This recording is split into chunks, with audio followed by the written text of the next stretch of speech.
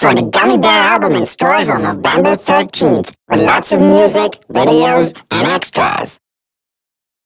Oh, I'm a gummy bear.